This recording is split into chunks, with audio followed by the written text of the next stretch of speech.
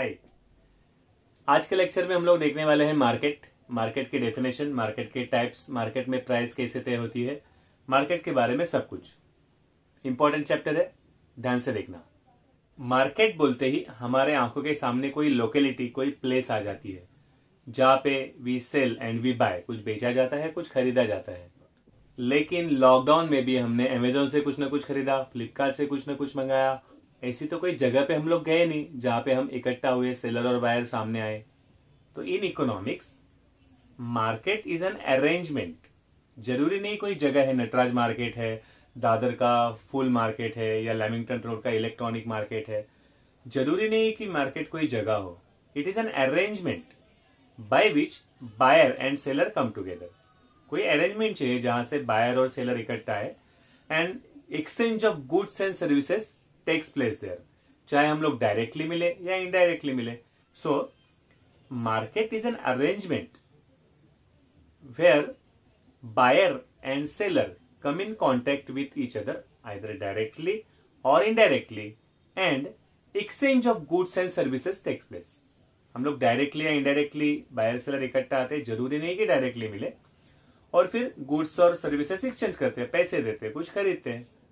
Augustine Cournot की economics की definition इन्हीं बातों को क्लियर करती है according to Augustin Cournot Economists understand the term market not any particular marketplace in which things are bought and sold. ज़रूरी नहीं है कि वो कोई प्लेस हो जहाँ पे खरीदा और बेचा जाए but the whole of any region where buyers and sellers are in such a close contact एक जगह ना हो लेकिन बायर्स और सेलर एक दूसरे के क्लोज कॉन्टैक्ट में हो ताकि prices of the same goods tend to equality easily and quickly जो गुड्स सेम है, उनकी प्राइस पूरे मार्केट में, उस मार्केट में सेम हो। अलग अलग तरीके से वही बताया गया है। डायरेक्ट कांटेक्ट ज़रूरी नहीं है, लेकिन कैसी कुछ सिस्टम रहे जहाँ पे बायर और सेलर एक दूसरे के कांटेक्ट में हो, चाहे फ़ोन पे हो, चाहे नेट पे हो, चाहे कैसे भी हो। ओके तो मार्केट बोले तो वहाँ पे पाँच चीज़ें होना ज़रूरी है। First is buyers and sellers, बहुत ज़रूरी है। प्रोडक्ट और service to be bought and sold कुछ बेचना है, कुछ खरीदना है, वो चीज़। उसकी प्राइस क्या है? बायर्स और सेलर्स का क्लोज कांटेक्ट डायरेक्टली हो या इनडायरेक्टली लेकिन बायर्स और सेलर्स एक दूसरे के कांटेक्ट में हो। और मार्केट का नॉलेज बायर को भी होना चाहिए, सेलर को भी होना चाहिए। मार्केट में क्या कंडीशन है? प्राइस क्या है? मार्केट का नॉलेज ये पाँच चीज़ें आती है तो वो हो जाता है मार्केट अभी देखते हैं क्लासिफिकेशन ऑफ़ मार्केट जैसे हम लोग बोलते हैं कपड़ा मार्केट है ना क्लॉथ मार्केट है, ये ज्वेलरी मार्केट है, यहाँ पे ज्वेलरी बिकती है, ये फुल मार्केट है, ये इलेक्ट्रॉनिक मार्केट है, वैसे अलग अलग बेसिस पे मार्केट के अलग अलग टाइप्स होते हैं. Let us see one by one on the basis of place local market national market international market on the basis of time time के हिसाब से very short period short period long period and very long period market competition के हिसाब से market में कितनी competition है? Perfect competition और इम्परफेक्ट कंपटीशन फिर इम्परफेक्ट कंपटीशन के टाइप्स आते हैं तीन मोनोपोली ओलिगोपोली और मोनोपोलिस्टिक कंपटीशन ये है हमारे पूरे चैप्टर का स्कोप ये सब इस चैप्टर में अभी आगे हम लोग पढ़ने वाले हैं. Now let us study the classification of market one by one सबसे पहले on the basis of place तो पहला वाला है लोकल मार्केट लोकल मार्केट है जहाँ पे सेलर और बायर वो चीज़ें बेचते खरीदते हैं जो उसी रीजन में प्रोड्यूस की गई हो। उसको बोलेंगे हम लोग लोकल मार्केट सेकंड है नेशनल मार्केट नेशनल मार्केट से हमारा मतलब है डोमेस्टिक मार्केट डोमेस्टिक मार्केट मतलब जिसकी लिमिट एक देश तक ही है। और हर एक नेशनल मार्केट पे कंट्रोल रहता है उस देश के गवर्नमेंट का। तो national market is governed by controlled by government of that country और फिर थर्ड इज़ इंटरनेशनल मार्केट जहाँ पे देश की सीमा की कोई लिमिट नहीं होती है वर्ल्ड वाइड मार्केट है, जहाँ पे बायर और seller across the national border एक देश से दूसरे देश की सीमा के पार बाइंग सेलिंग कर सकते हैं। So on the basis of place तीन टाइप के मार्केट है। लोकल, जो प्रोड्यूस होता है, वहीं पे बेचा जाता है। फिर नेशनल जो एक देश की लिमिट के अंदर है। और इंटरनेशनल जो कंट्रीज़ एक दूसरे में, आपस में, पूरे वर्ल्ड वाइड बिज़नेस करती है वो। On the basis of time types है very short period short period long period and very long period very short period बहुत ही कम टाइम एक दो वीक का। तो एक दो वीक के टाइम में हम लोग सप्लाई बढ़ा नहीं सकते, अचानक प्रोडक्शन बढ़ा नहीं सकते। तो सप्लाई फिक्स है डिमांड बढ़ती है तो प्राइस बढ़ेगी डिमांड कम हो जाती है तो प्राइस कम होगी। लॉकडाउन शुरू होने के बाद पहले पंद्रह दिन तक मार्केट में जितने भी सैनिटाइजर थे उतने ही थे। तो डिमांड बढ़ी तो उसकी प्राइस बढ़ी, बहुत महँगे बेचे लोगों ने। लेकिन पंद्रह दिन बाद अलग अलग लोगों ने प्रोडक्शन शुरू कर दिया पार्ले कंपनी ने भी सैनिटाइजर बनाया। तो फिर उसकी प्राइस हो गई कम। हमें समझना है वेरी शॉर्ट पीरियड कुछ वीक्स का होता है, जहाँ पे सप्लाई होती है फिक्स तो डिमांड पे डिपेंड होती है प्राइस डिमांड के बढ़ने से प्राइस बढ़ती है डिमांड कम तो प्राइस कम।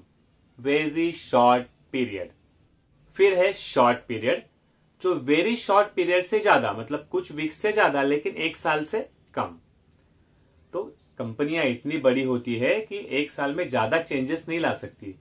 मशीनरी भी उनकी करोड़ों की रहती है तो एक साल में वो सेटअप चेंज नहीं कर सकते पूरा।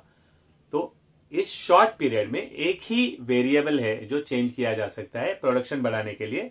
लेबर को हम लोग चेंज कर सकते हैं।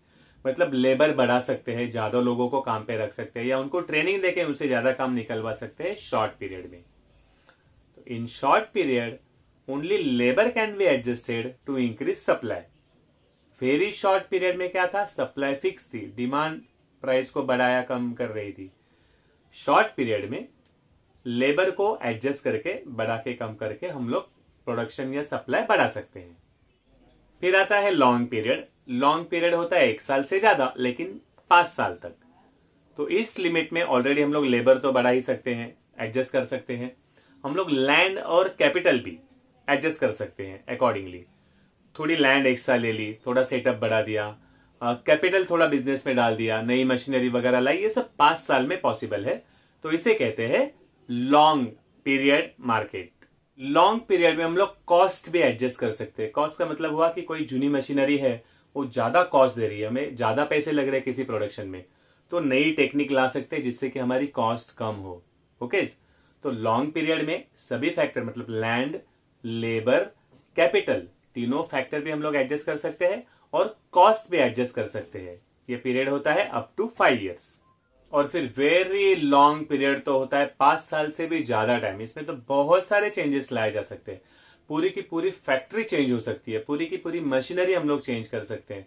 पूरी की पूरी रेलवे निकल के वहाँ पे हम लोग मोनोरोल या बुलेट ट्रेन डाल सकते हैं। तो ये होता है वेरी लॉन्ग पीरियड यहाँ पे सब कुछ एडजस्टेबल है। लैंड लेबर कैपिटल टेक्निक सब कुछ नया ला सकते हैं। That is very long period on the basis of time four types of market very short period कुछ वीक्स तक का। शॉर्ट पीरियड एक साल से कम।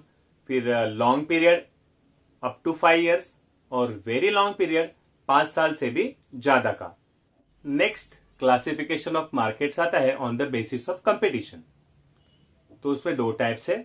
Perfect competition and imperfect competition perfect competition का सेपरेट अलग से क्वेश्चन आता है। इस चैप्टर का सबसे ज़्यादा वेटेज इसी क्वेश्चन को है परफेक्ट कंपटीशन को। और फिर इनपरफेक्ट कंपटीशन इम्परफेक्ट कंपटीशन फिर उसमें आता है मोनोपोली अकेला सेलर ओलिगोपोली कुछ सेलर्स है, और फिर मोनोपोलिस्टिक कंपटीशन तो परफेक्ट कंपटीशन एक अकेला है इम्परफेक्ट कंपटीशन में तीन टाइप्स है। एक एक करके देखते हैं। परफेक्ट कंपटीशन देखो नो बडी इज़ परफेक्ट आपने सुना होगा। तो वैसे ही मार्केट है परफेक्ट कंपटीशन कोई ऐसा स्टूडेंट सोचो परफेक्ट स्टूडेंट सुबह पाँच बजे उठता है, मम्मी को काम में मदद करता है, पिताजी को हेल्प करता है, फिर खुद का होमवर्क खुद कर लेता है टीवी नहीं देखता मोबाइल नहीं माँगता। हंड्रेड परसेंट अटेंडेंस है एग्ज़ाम में अच्छे मार्क्स लाता है, खेलने में भी अच्छा है, सुनने को अच्छा लगता है। ना? इज़ आइडियल आदर्श स्टूडेंट है ये, ऐसा स्टूडेंट होना चाहिए। लेकिन ये इमेजिनरी है, ऐसा कोई ढूंढ के मिलेगा क्या? So same way perfect competition is also a ideal condition लेकिन ये इमेजिनरी कंडीशन है ओनली थियरी है। इसमें जो भी आगे फीचर्स देखेंगे तो आपको ध्यान में आ जाएगा कि यह सिर्फ़ सोच वाली बात है। मिसेस जोन रॉबिन्सन कहती है perfect competition prevails perfect competition होती है, अस्तित्व में होती है। Perfect competition prevails where demand for product of each producer is perfectly elastic हर एक प्रोड्यूसर के गुड्स के लिए डिमांड है परफेक्टली इलास्टिक है। अगर कोई एक हज़ार रुपए की चीज़ एक रुपया भी कम करता है, उसकी डिमांड हो जाएगी ज़ीरो और अगर एक रुपया भी सस्ता करता है तो उसकी डिमांड बहुत बढ़ जाएगी। ऐसा कुछ मार्केट नहीं होता। ये सिर्फ़ कंसेप्ट है। इसके आगे के फीचर्स देखते हैं। मज़ेदार कंसेप्ट है। परफेक्टली कंपिटेटिव मार्केट वो मार्केट है जहाँ पे there are large number of buyers and sellers buyers भी बहुत सारे हैं सेलर्स भी बहुत सारे हैं okay all are engage in selling homogeneous goods homogeneous मतलब सेम सिमिलर एक जैसा, एक जैसी चीज़ें, सभी सेम चीज़ें बेच रहे हैं okay moreover there is no restriction वहाँ पे कोई रिस्ट्रिक्शन नहीं है, किसी का कंट्रोल नहीं है, और हर एक बायर सेलर को पूरे मार्केट का परफेक्ट नॉलेज है। क्रैप क्या प्राइस चल रही है मार्केट में? डिमांड कितनी है? सप्लाई कितनी है? हर एक को परफेक्ट नॉलेज है। जहाँ पे ढेर सारे बायर सेलर्स है। सभी लोग सेम गुड्स होमोजिनियस गुड्स बेच रहे हैं। वहाँ पे कोई रिस्ट्रिक्शन नहीं है, किसी पे किसी का कंट्रोल नहीं है। गवर्नमेंट का वगैरह कंट्रोल नहीं है। कोई भी आ सकता है मार्केट में बेचने के लिए, कोई भी जा सकता है। और लास्ट थिंग हर एक बायर को, हर एक सेलर को पूरे मार्केट की परफेक्ट नॉलेज है। वो है परफेक्टली कंपिटेटिव मार्केट फीचर्स बहुत इजी है। एक ही बार में आपको बाहर हो जाएँगे। द फ़र्स्ट फीचर इज़ इसकी पहली खास बात है large number of sellers and buyers ढेर सारे सेलर्स है मार्केट में और ढेर सारे बायर्स है मार्केट में. तो एक सेलर अगर सोचता है कि मैं मार्केट की प्राइस चेंज करूँगा तो उसकी कोई औकात नहीं है कि वो चेंज निग्लिजिबल है. कोई उसको गिनेगा भी नहीं, दस दिन दुकान बंद रहेगी पता भी नहीं चलेगा. Large number of sellers in the market तो जो भी मार्केट में रेट चल रहा है ऑलरेडी उसी रेट में मुझे बेचना पड़ेगा। मैं मेरे रेट से बेच नहीं सकता, क्योंकि मार्केट की प्राइस फिक्स है पहले से। So in perfect competition every seller is price taker वो प्राइस मेकर नहीं है, अपनी प्राइस बना नहीं सकता। जो भी प्राइस में बेच रहे लोग, उसी प्राइस में मुझे बेचना पड़ेगा। तो seller is price taker accepter price accept करनी पड़ती है उसको मार्केट में। Seller is price taker in perfect competition objective में क्वेश्चन आता है। Same way there are large number of buyers in the market buyers भी बहुत सारे हैं। तो कोई एक बायर आके बोलता है कि मुझे इस रेट में नहीं लेना है तो कुछ फ़र्क नहीं पड़ता मार्केट को। उसका भी रोल निग्लिजिबल है, कोई ध्यान नहीं देगा उस पर वो नहीं आएगा मार्केट में, फिर भी चलेगा। तो that is why every buyer also has to accept the price in the market जो भी प्राइस में मार्केट में बेचा जा रहा है, उसी प्राइस में उसे लेना पड़ता है। तो सेलर भी प्राइस टेकर है और बायर भी प्राइस टेकर है in the market because they are in large numbers second feature is homogeneous products homogeneous मतलब एक जैसे आइडेंटिकल जैसे जुड़वा होते ना, एक को छुपाओ, दूसरे को निकालो. आइडेंटिकल सेम सेम तो इस मार्केट में वो चीज़ें बेची जा रही है जो परफेक्ट होमोजीनियस सेम है. सभी चीज़ें size quality taste all the qualities are identical same ऐसी चीज़ें इस मार्केट में बेची जा रही है. तीसरा feature is free entry and exit कोई भी फर्म कोई भी कंपनी इस मार्केट में एंट्री ले सकती है, आ सकती है, बेचो प्रॉफिट मिलता है तो। अगर लॉस होता है तो निकल जाओ एग्जिट मार सकती है। तो किसी का कंट्रोल नहीं है, किसी का रिस्ट्रिक्शन नहीं है कि कौन फर्म कौन सी फर्म इस मार्केट में एंट्री करे या नहीं करे। या तो फिर एंट्री की हुई है तो बाहर जाए या न जाए। तो एनी फर्म जिस फर्म को लगता है कि यहाँ पे प्रॉफिट है मार्केट में एंटर करेगी। अगर लगता है लॉस है तो मार्केट से निकल जाएगी। There is no barrier on entry and exit there is no restriction on entry and exit कोई बंधन नहीं है एंट्री का और एग्जिट का। Fourth feature is single price पूरे मार्केट में एक ही प्राइस है चीज़ों की। और वो प्राइस कौन तय कर रहा है? डिमांड एंड सप्लाई जहाँ पे डिमांड सप्लाई इंटरेक्ट होते हैं, वो प्राइस मार्केट में फिक्स रहती है। The price in the market is decided by demand and supply force single price prevails in the market first four features अभी बायट हो गए आपके. Large number of buyers and sellers homogeneous goods free entry and exit single price बायट हो गए? Large number of buyers and sellers, homogeneous goods, free entry and exit और single price prevails in the market चार point बाय हो गए. Next is perfect knowledge of the market. हर एक buyer को, हर एक सेलर को पूरे मार्केट में प्राइस क्या चल रही है, क्वालिटी क्या है, गुड्स कहाँ से आते हैं, इसका सोर्स क्या है, हर एक चीज़ के परफेक्ट नॉलेज है। हर बायर को, हर सेलर को तो किसी को प्राइस में चीट नहीं कर सकते। दैट इज़ द रीजन की सिंगल प्राइस है यहाँ पे। हर एक को पूरी मार्केट कंडीशन पता है। Next point is perfect mobility of factors of production labour है कैपिटल है, परफेक्टली मोबाइल है। देखो, मोबाइल का मीनिंग क्या होता है? पहले टेलीफोन था तो टेलीफोन एक ही जगह पे रखा जाता है। अभी हमारे हाथ में जो आया हुआ है, मोबाइल टेलीफोन है। मोबाइल का मतलब किसी भी जगह पे लेके जा सकते हो। तो वैसे इन परफेक्ट कंपटीशन, लेबर है और कैपिटल है, परफेक्टली मोबाइल है। अगर एक कंपनी में लेबर को लगा कि मुझे यहाँ पे कम सैलरी मिल रही है, तुरंत छोड़ेगा, उसको नया जॉब मिलेगा। एक्चुअली ये पॉसिबल नहीं है। लेकिन वहाँ पे ऐसा है कि कैपिटल, किसी ने कैपिटल इन्वेस्ट किया है।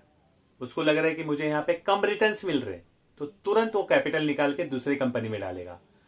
इसको बोलते perfect mobility in perfectly competitive market labour और कैपिटल परफेक्टली मोबाइल है। जोग्राफिकली भी और ऑक्यूपेशनली भी। जोग्राफिकली मतलब आराम से एक जगह से दूसरे जगह भी जा सकते हैं और उनका ऑक्यूपेशन उनका काम भी आराम से चेंज हो सकता है।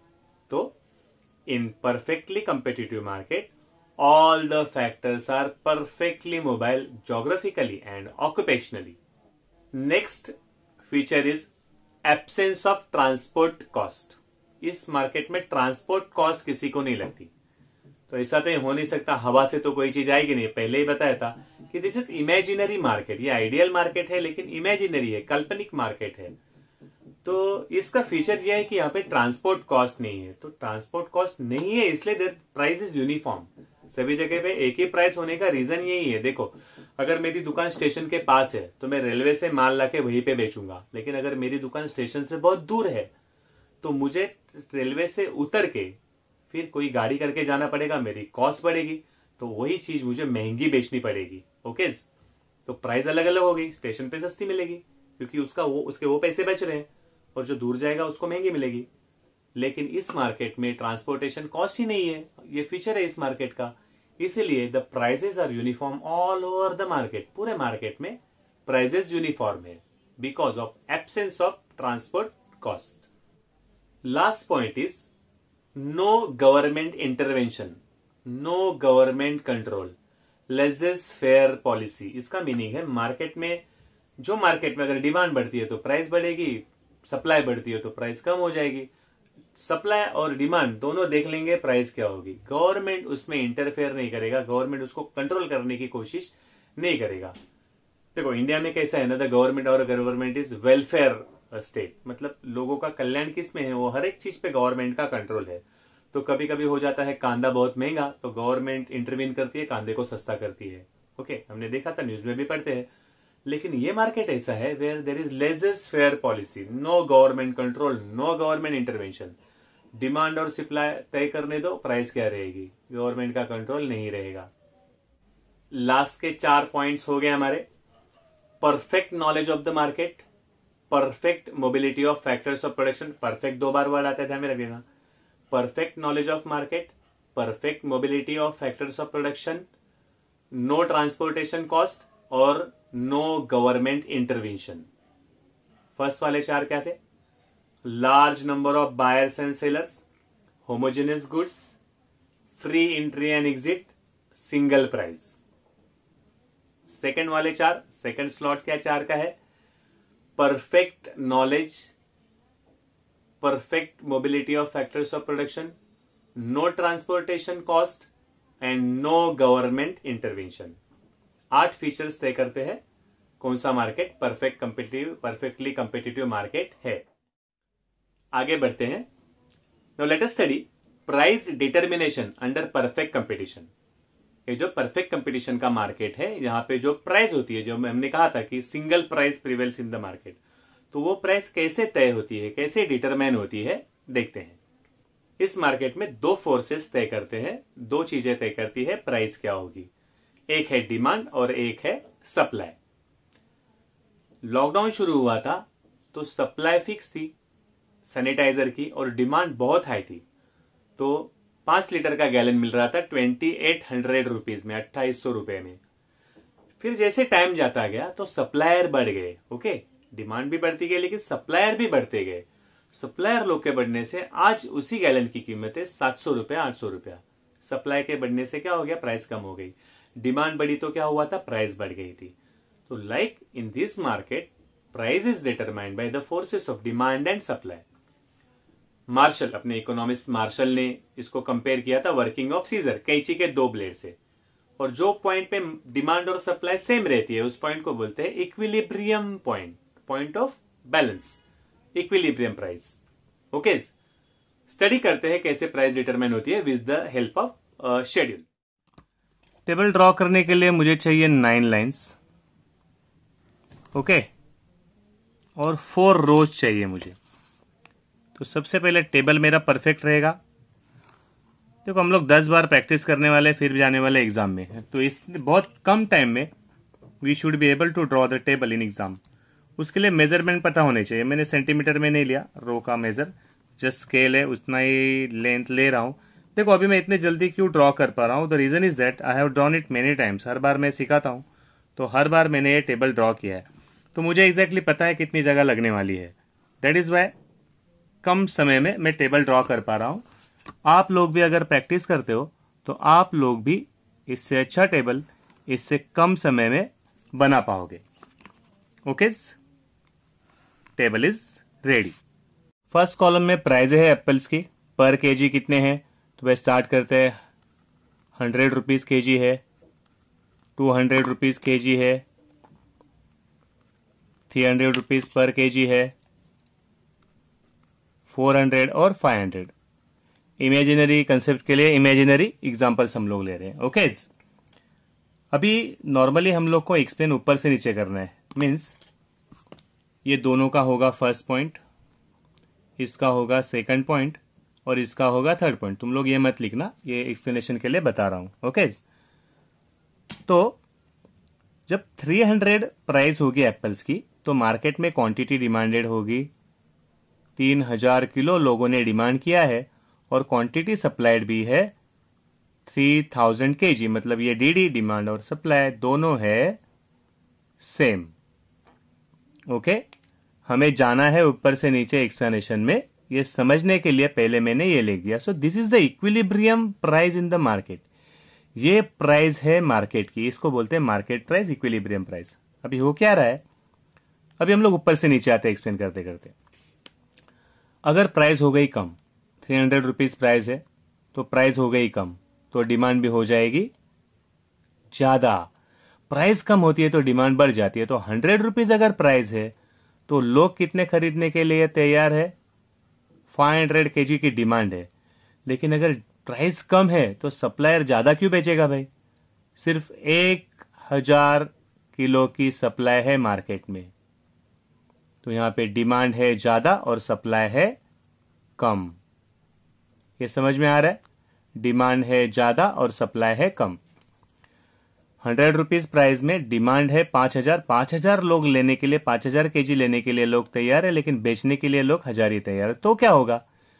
जब लेने वाले ज़्यादा है और बेचने वाले कम है तो क्या होगा? आहिस्ता आहिस्ता प्राइस बढ़ते जाएगी। तो when price becomes two hundred price हो जाती है दो सौ।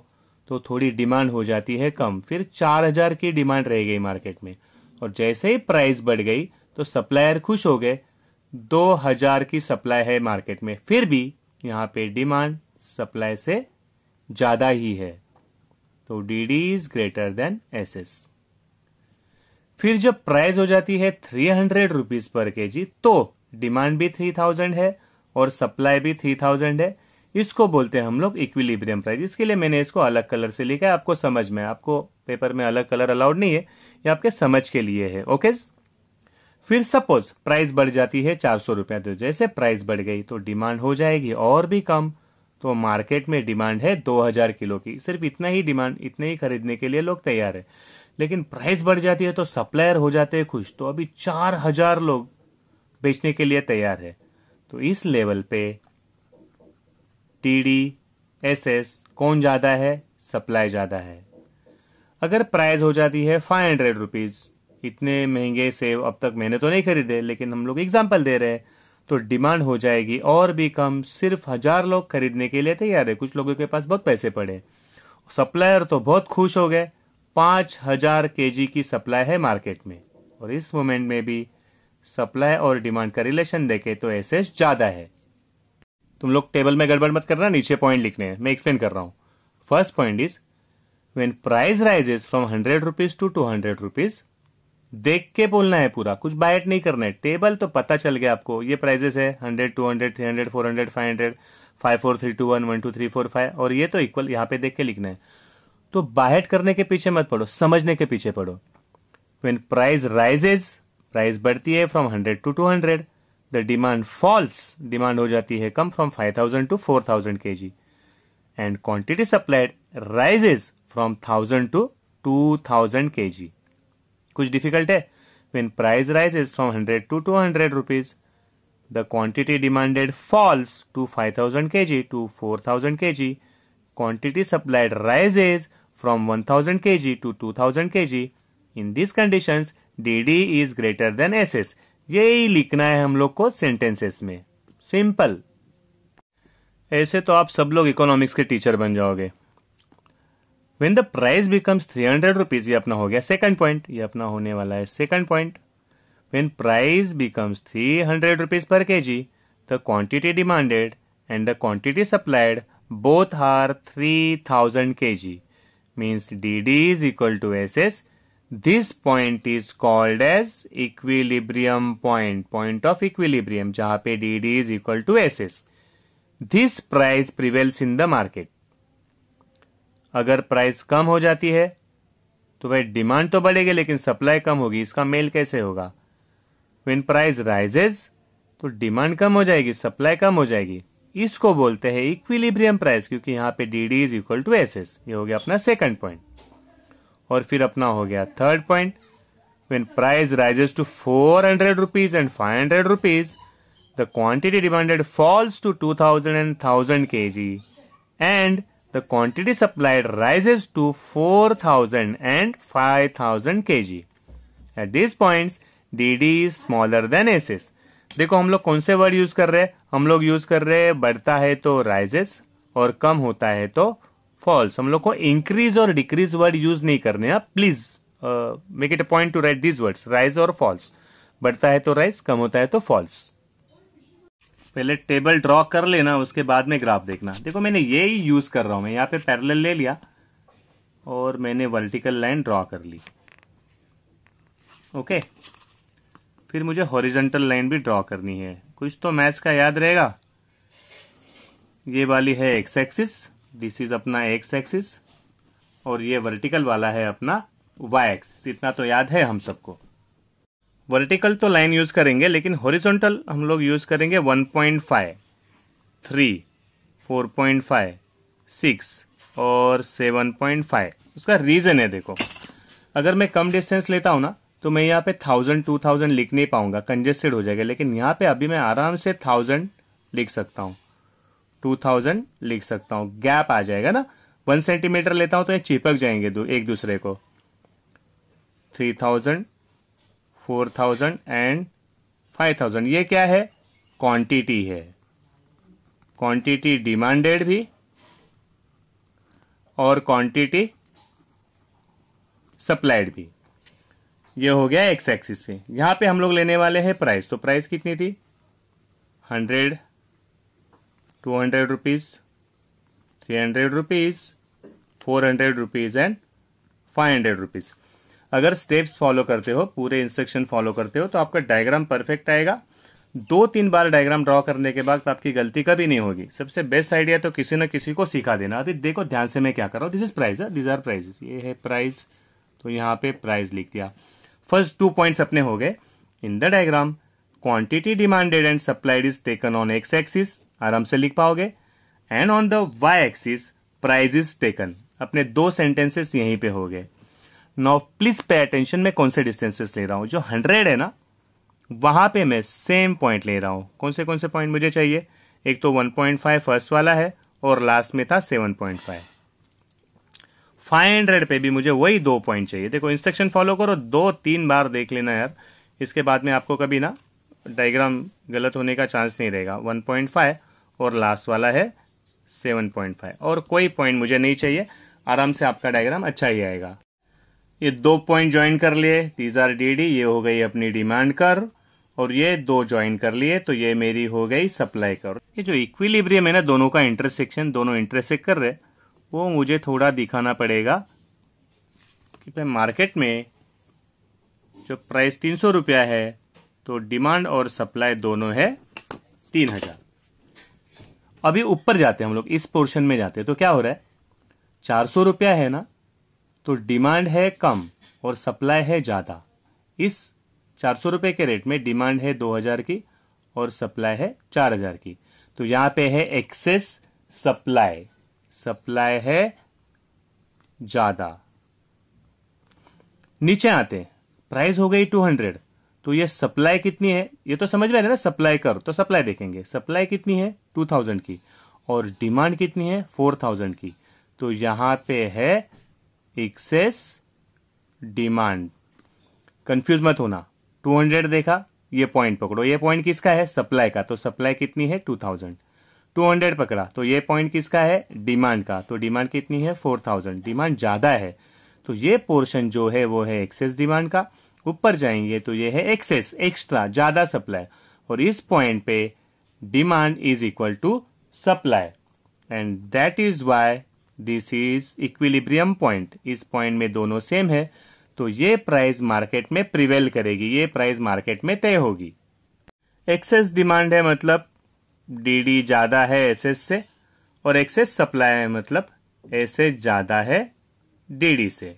सिंपल नोट्स देख के कोई भी बाहर कर लेते हैं। स्मार्ट लोग तो डायग्राम से बाहर कर लेते हैं। कैसे? सबसे पहले क्या ड्रॉ किया? सबसे पहले क्या लिखा? In the diagram quantity demanded and supply is taken on X axis and price is taken on Y axis हो गया अपना first point second point the demand curve is downward sloping D is the demand curve it has downward slope it shows inverse relationship between price and quantity demanded ये तो हमें पहले से पता ही था। डिमांड है इनवर्सली रिलेटेड टू प्राइस मतलब उल्टा है। प्राइस ज़्यादा तो डिमांड कम प्राइस कम तो डिमांड ज़्यादा। थर्ड पॉइंट लिखते हैं एसएस का। SS is the supply curve it rises upwards from left to right वो तो नोट्स में आ जाएगा। एक यहाँ पे ही समझ में आ जाएगा आपको।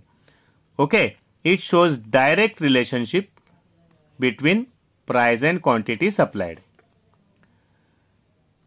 D and S S intersect at point E intersect कर रहे हैं ई e पे, ये हो गया अपना fourth point this point is called as equilibrium point at this point D D is equal to S S this is the price prevailing in the market determined by demand and supply forces in the market answer खलास simple देखो, हम लोग सोचते हैं कि online class actual class से कम नहीं होना चाहिए, ज़्यादा ही होना चाहिए। तो पहली बात तो आपके पास मेज़रमेंट से लेके एक एक चीज़ पहुँच गई है। जस्ट आपको फॉलो करना है। हम लोग आपके कंट्रोल में आ गए। दो बार, तीन बार, चार बार देख लेना है। जितनी प्रैक्टिस करोगे, उतनी मास्टरी आप पे आ जाएगी। आसानी से। इस लेक्चर में हमने देखा मीनिंग और डेफिनेशन ऑफ़ मार्केट फिर उसके अलग अलग टाइप्स टाइम पीरियड और कंपटीशन के बेसिस पे। और उसमें से जो सबसे बड़ा क्वेश्चन आने वाला था परफेक्ट कंपटीशन उसका मीनिंग फीचर्स और how price is determine under perfect competition हमने कंप्लीट कर लिया है। अगर ये लेक्चर आपको हेल्पफुल लगता है तो ज़रूर दोस्तों को रेफर करना लाइक्स करना सब्सक्राइब कर देना और आपका फीडबैक हमें ज़रूर चाहिए okay we are here to make economics interesting and scoring also enjoy learning economics all the best